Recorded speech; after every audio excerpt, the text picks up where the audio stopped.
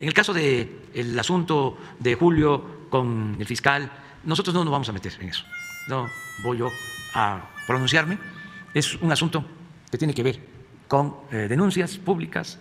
Eh, si acaso, si lo amerita la circunstancia, es cosa de las agencias del Ministerio Público y de juzgados. No me voy a meter en eso.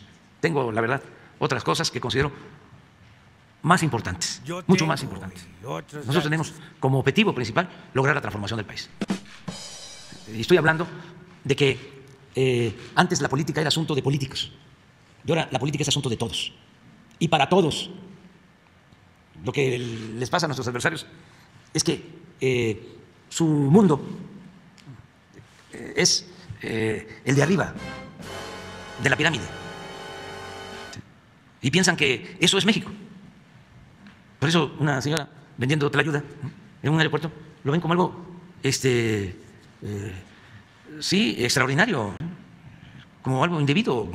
Es una especie de oligarquía o un sector que se cree de sangre azul.